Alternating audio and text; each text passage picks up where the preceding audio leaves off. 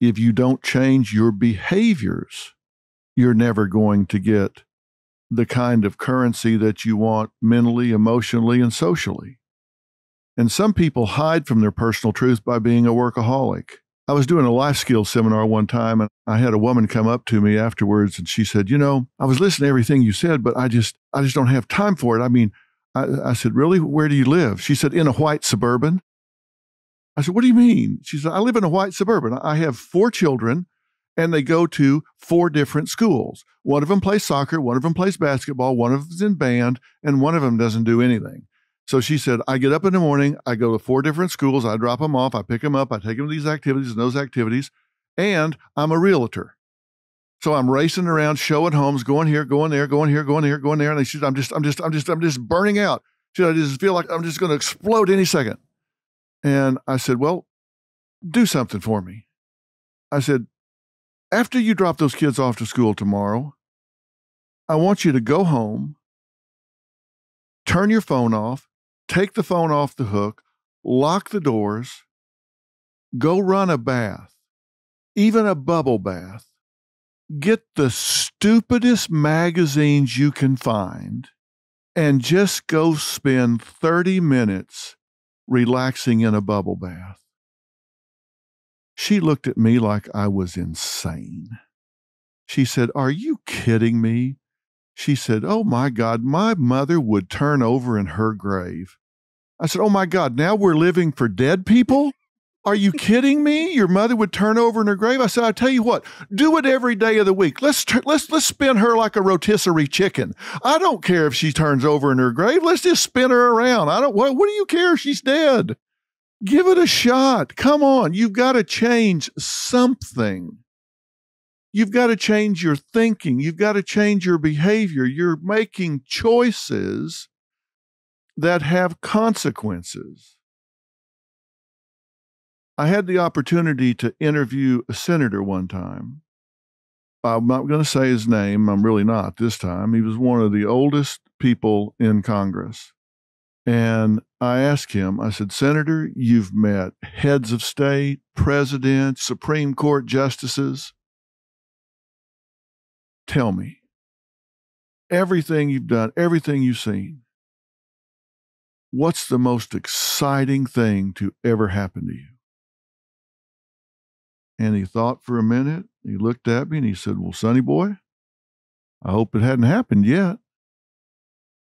And I thought, wow, what a profound answer. Here's a guy that's been in Congress since Christ was a child, 50, 60 years. And he said, I hope it hasn't happened yet. How about you? How about you?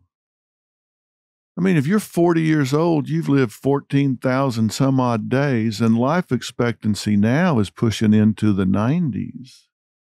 Are you one of those people that if I say, What do you do for fun? And you say, Well, you know, well, we used to fish. You know, we used to we used to take a couple weeks and travel. When's the last time you did that? Oh, it's been what has Mama? Been six years, seven years? Really? Last time you had fun was six or seven years ago? Well, you got 40 years left. And the last time you really gave yourself permission to have fun was six or seven years ago, and you got 40 years left? That's a long, long time to do what you're doing. That's a long time to be boring.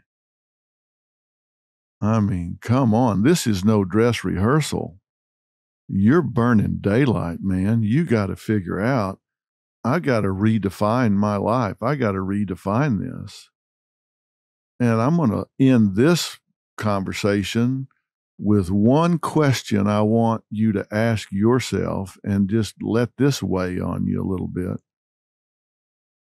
just how much fun are you to live with? Ask yourself that. Don't ask yourself, I'm not asking you to change everything at one time. Just ask yourself this How much fun are you to live with? The formula for a successful relationship is this. Number one, it's based on a solid underlying friendship, which means first, what do friends do? They share things, they support each other, they laugh, they talk, they're friends, they invest. It's based on a solid underlying friendship and it meets the needs of the two people involved. Now, think about that. It meets the needs of the two people involved. That means you've got two jobs. Job number one is to work to discover the needs of your partner. Job number two is work to teach your partner your needs. Now, if both of you are doing those two jobs, if you're working to teach your partner your needs and you're working to learn your partner's needs, then you're both teaching and learning at the same time. If he or she is both teaching and learning at the same time, then you've got two people moving towards each other. You're each trying to learn the other's needs and teach the other person your needs. All of a sudden, you're moving towards each other with the common goal of creating intimacy. That might require turning the television off. And in case you didn't know, if you have a television in your bedroom, your sex life suffers 50%, 55-0%. So if you want to get lucky, kick Kimmel and Fallon and Conan and Corden to the curb. Get them out of your bedroom, but ask yourself, how much fun are you to live with? When I talk about how much fun you are to live with, I don't mean just for your spouse or your kids. I mean you. I've always said if I was going to be alone, I don't want to be a bad person to do it with. So that means I got to get along with me pretty well. And here's the deal you've probably noticed throughout this whole time that I've been talking to you that there's a common theme to what I've been saying, and that is I'm being selfish on your behalf. And you may think, boy, if I do everything he's been talking about, I'm going to feel selfish. Well, don't. Don't feel selfish when you're putting yourself first. Do not feel selfish when you're putting yourself first. Here's why you can't give away what you don't have. If you love your children, and I know you do, then take care of their mother, take care of their father. The last thing you want to do is mismanage yourself such that you wind up emotionally bankrupt and become emotionally unavailable or physically unavailable because you have a heart attack and die. So the people that you love and love you don't have you in their lives. You don't want to do that. You got to take care of yourself because you can't give away what you don't have. So, is it selfish for you to take some time to yourself? No. Not if it prolongs your life, not if it keeps you vibrant and alive so you can be there for the people that you love and love you.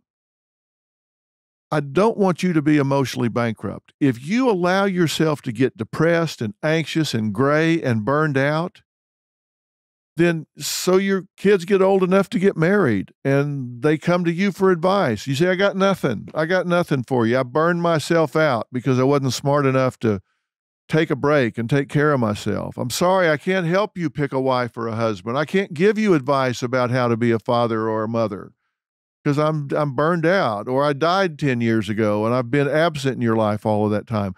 Don't do that you do not want to allow yourself to become emotionally bankrupt. And to do that, you got to treat yourself like a bank account. If all you ever do are make withdrawals, you never make any deposits, you are going to wind up with a zero balance.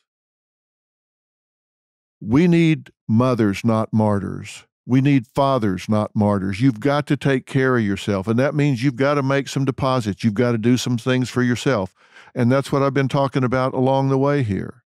And if you are a mother or a father and you've got kids that are five, six, seven, eight, ten years old, take a real close look and you're going to notice something. they have arms and legs. They can pick up their own room. They can pick up their own toys. They can even make a peanut butter and jelly sandwich. And nobody will call Child Protective Services if they have to make themselves a sandwich.